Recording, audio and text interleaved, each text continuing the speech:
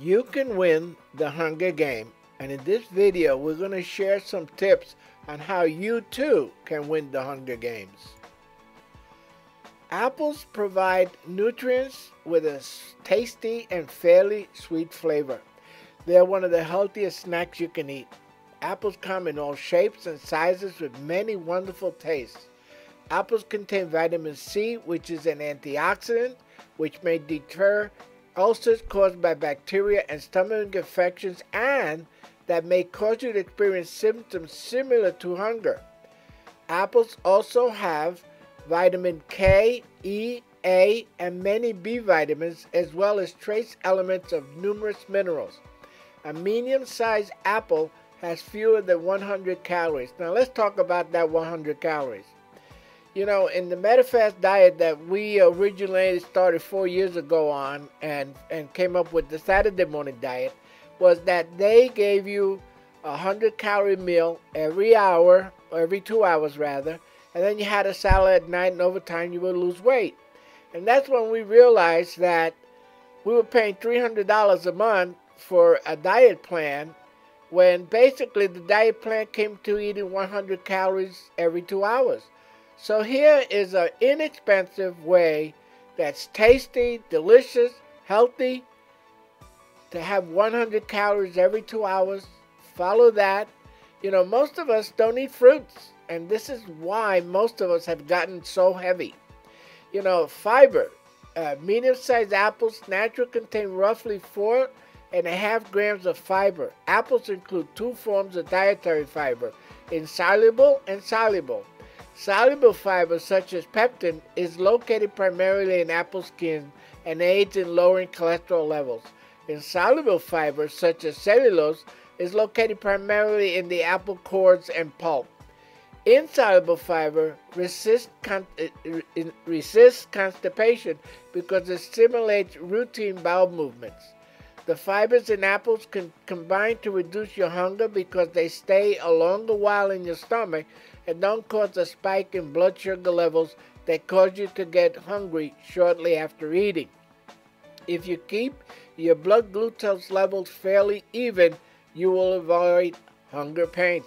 And this is something that uh, many of us struggle with. It's this up and down of the sugar levels, and that's what causes this vicious cycle of hunger.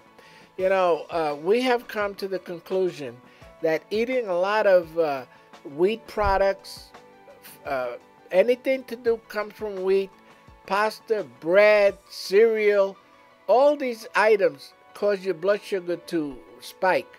So by having an apple, when not only are you getting multiple vitamins and minerals, but you're also getting a good source of fiber. In that regard, there's fructose in apples. Apples are a good source of fructose, which makes it a little more, that takes a little more time to digest than sucrose found in sugary snacks and most baked goods or the lactose found in dairy products.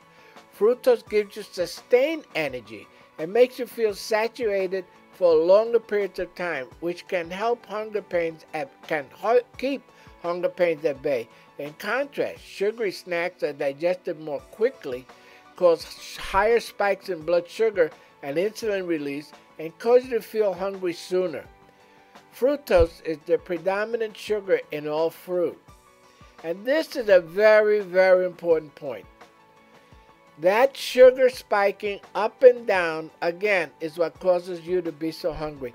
And it goes back to why sugary snacks and most baked goods are not good for you. Because they basically turn into sugar once you consume them.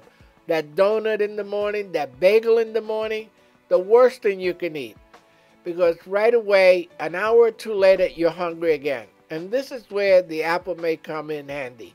If you can't keep away from that bagel, or you can't keep away from that donut in the morning, or you don't eat the right things in the morning, because we recommend oatmeal and you don't have your oatmeal breakfast, have an apple. Here's some tips. It's important to drink water if you're going to add apples to your daily food intake. Apple fiber can cause abdominal pain and constipation because the apple fiber can block your intestinal system. you know, that's a very important feature that if you all of a sudden start to add fiber to your diet, which you probably don't have much of now, and we also tell you in various videos to take in Metamucil every morning, two tablespoons. In any case, avoid drinking apple juice because the concentration of sucrose sugar will cause your blood to spike. So keep away from those concentrated sugars.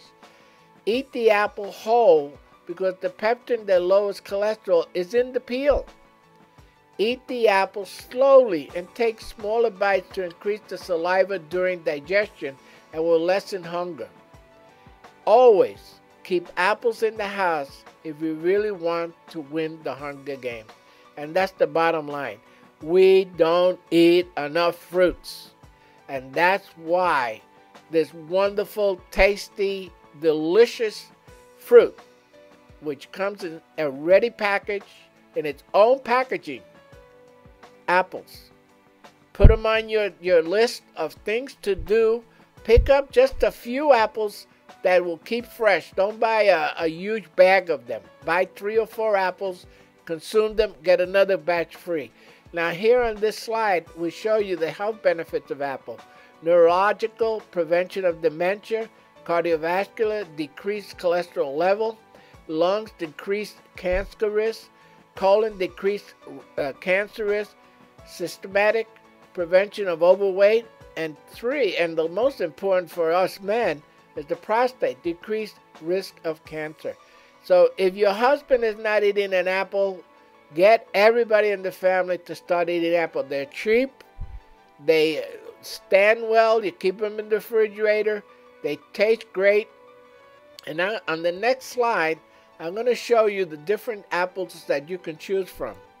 Now choose the best variety of apple for snacking, salads, sauces, baking, and pies. They all have their different uh, benefits and uh, why they taste better in one thing than the other. Now, you could pause this video and take a take a look and see which ones would be appropriate for you. We we prefer ourselves the red delicious apple. We also like the uh, the ginger gold. They taste delicious, have a really good, and also don't forget the McIntosh. So I'm gonna put this uh, piece on the uh, website so you could download it. Okay, now we're going to ask that you please subscribe and share this video with everyone on your email list. Please share this. Help us grow this channel. Also, you can help support our free video tutorials. You know, uh, YouTube has made it available a thing called fan funding, which is on our channel, on the YouTube channel. On the right hand side, you'll see that box with the red arrow it says support this channel. Help us keep creating these free educational videos. That will take you to the next page, which is support Joan Diet Bars. You could give $1. I'm happy to get $1. You could give $5. Or if you feel that we're of more value to you than that, you could put another amount that, that you like. So again, we want to thank you and please keep up dieting, keep trying to lose that weight because it's doable. Other people do it. Why can't you? Why can't I? Thanks again. See you on the next video.